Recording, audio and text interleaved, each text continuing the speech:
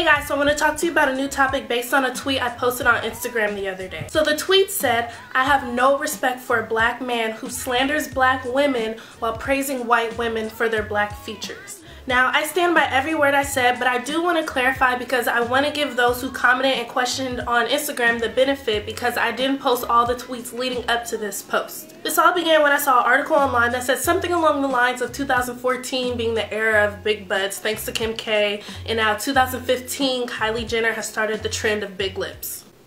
Really? Really? She started it? So I'm to read off some of the things I tweeted leading up to this post just so you can understand it better in context. I said, so big lips are a trend now thanks to girls like Kylie Jenner. Hmm, we'll tell that to all the little black girls who were getting bullied for them in elementary school and in high school. And definitely don't forget to tell that to the same girls when that bullying turned into sexualization with the nickname DSL. Y'all know what that means.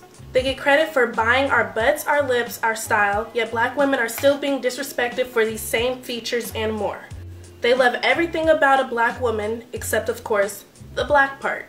And then I said, I have no respect for a black man who slanders black women while praising white women for their black features. So with that being said, I think it's more than obvious that my beef is not with all black men or white girls who have full lips and big butts and are curvy. My issue is with the black men who disrespect black women and then on top of that, praise white women for the black features that they paid for. And I know there's something else I need to clarify because people question me on this again and again, and that's what are black features? Now obviously black people do not own big butts, we don't have full lips copyrighted, and not all black women are curvy. However, when you look back to those super racist cartoons from back in the day, how were we drawn? What did our lips look like?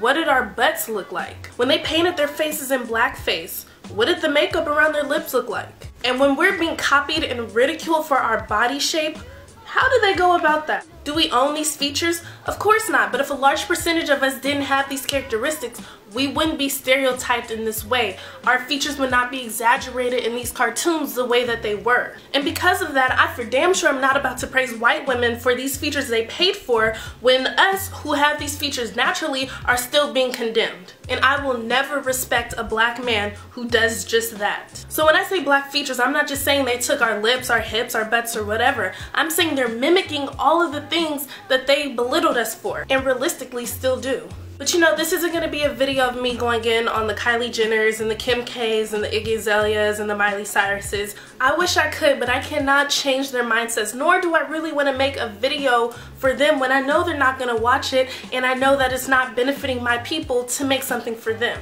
This is to show my concern with all the black men who don't see even the slightest problem with this. The majority of the people who questioned my post on Instagram were either not black or black men. Now, real quick, real.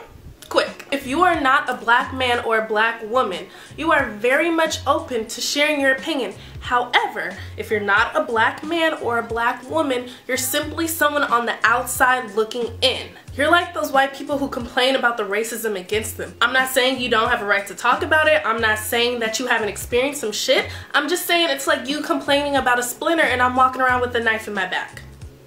Just sit back and chill because this one is not for you. My biggest concern with the black men who tried to argue that my tweet was wrong was that they completely disregarded the black men slandering and disrespecting black women part and only acknowledged the part about white women having black features. Really? You're just gonna ignore that? You're just, you're gonna act like it's not an issue the way black women are treated?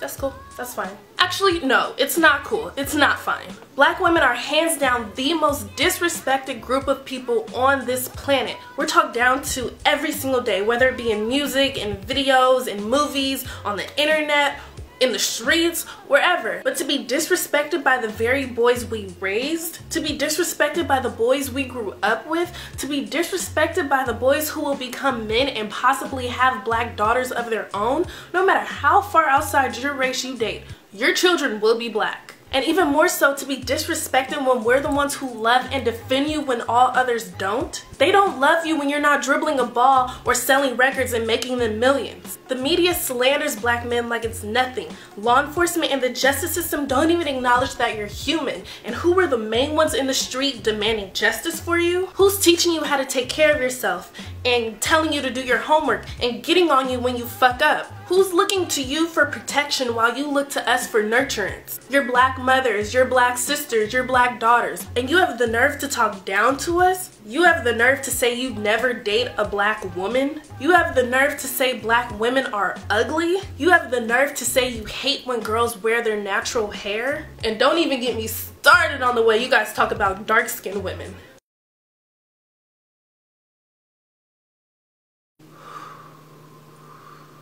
Now my intent here is not to throw shade at black men and I'm definitely not going to say that all black men disrespect black women. But speaking in general within the black community, the way black men treat black women is just atrocious. I get so many compliments from guys outside of my race and I'm sure plenty of you ladies do too and it's so sad because we should not have to look outside of our race for recognition or acknowledgement or a damn compliment. And for the younger black guys who throw compliments my way, they usually say some bullshit like Damn, Shawty, you kinda bad for a dark skinned girl.